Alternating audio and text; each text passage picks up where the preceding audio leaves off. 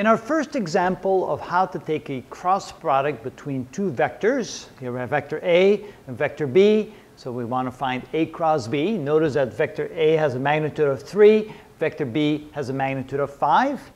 And notice that, of course, if vector A is along the x-axis and vector B is along the y-axis, that the angle between them must be 90 degrees.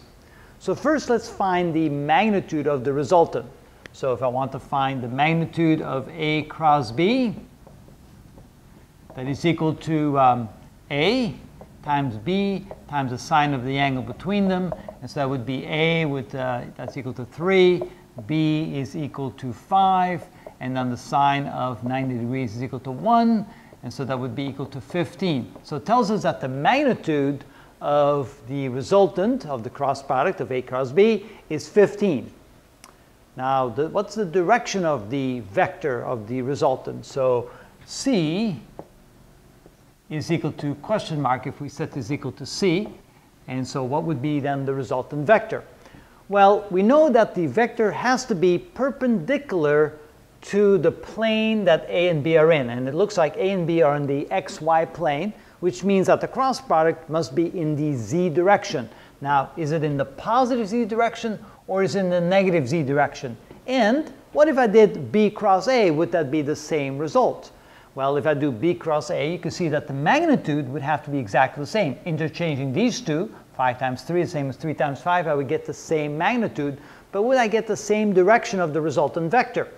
Well, it turns out you would not. And one way to figure out what to do is to take your right hand and notice if you point your direction, the fingers in the direction of the first vector, A, and then you curl your fingers in the direction of the second vector, B, your thumb will point in the direction of the resultant vector.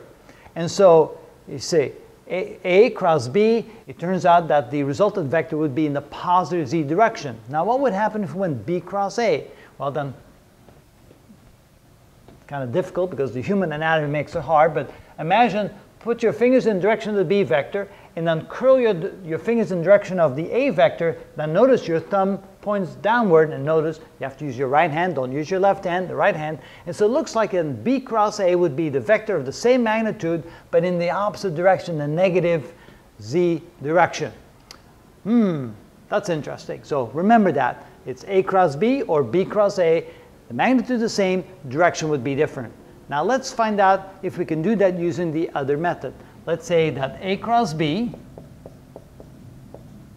is equal to the result of the determinant x, y, z, a sub x, b sub x, oh, no, a sub x, a sub y, a sub z, and b sub x, b sub y, and b sub z.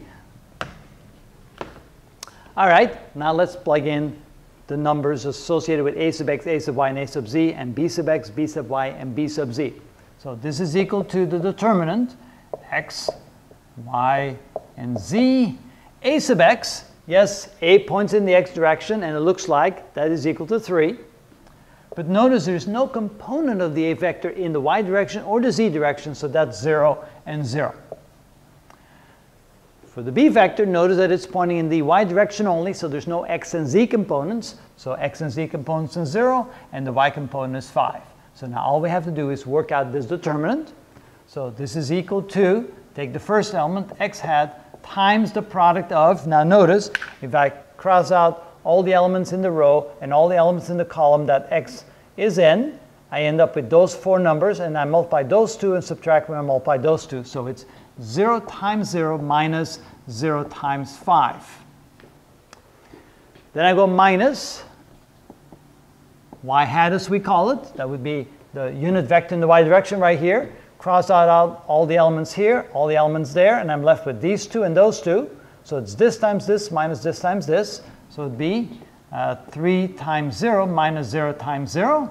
And finally, plus z. Cross out all the elements here, all, all the elements there. I'm left with those four. So it's this times this minus this times this. So it'd be 3 times 5 minus 0 times 0.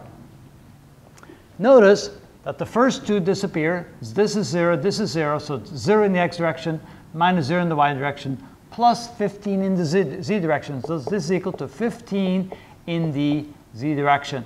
And that's the resultant of A cross B.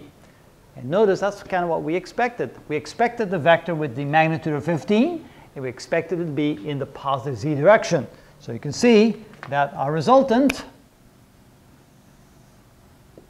C being equal to A cross B, has a magnitude of 15 and is pointing in the positive z direction. What would happen if I went B cross A? Would I get negative 15? Well, let's find out. So what if we do B cross A? That would be equal to, we still have x, y, and z. Instead of putting the A vector first, I put the B vector first. So this is B sub x, B sub y, B sub z. We put A sub x, A sub y, A sub z.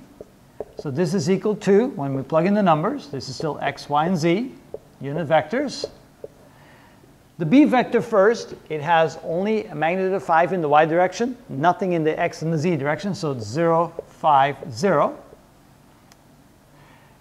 For the a vector, we have 3, 0, 0, right? Only a magnitude in the x direction, 0 and 0 in the y and the z direction. And now let's work out that determinant and see what we get. So this is equal to x hat times, cross out all of those and all of those, I get 5 times 0 minus 0 times 0. So 5 times 0 minus 0 times 0 minus the unit vector in the y direction, cross out all the elements where the y belongs to, and all the elements where the y belongs to in the vertical direction here. We have 0 times 0 minus 0 times 3. So we have 0 times 0 minus 0 times 3. And finally, plus z hat, cross out all the elements in the row, all the elements in the column, and I'm left with these four numbers. So it's 0 times 0 minus 0, 5 times 3. So 0 times 0 minus 5 times 3. Notice the x component disappears, the y component dis disappears, all I have is z component, and indeed I do get a minus 15 times z direction. So this is equal to minus 15 in the z direction. Notice when I reverse the order, I go b cross a, I get the same magnitude, but in the opposite direction, in the negative z direction. So b cross a is negative 15z, a cross B is a positive 15C. That's how you can see that when you do A cross B or B cross A, you get the same magnitude vector, but simply in the opposite directions. And that's how you do a cross product. Now, that's a simple example. I will show you in the next video a little bit more complicated example to see how you do cross products.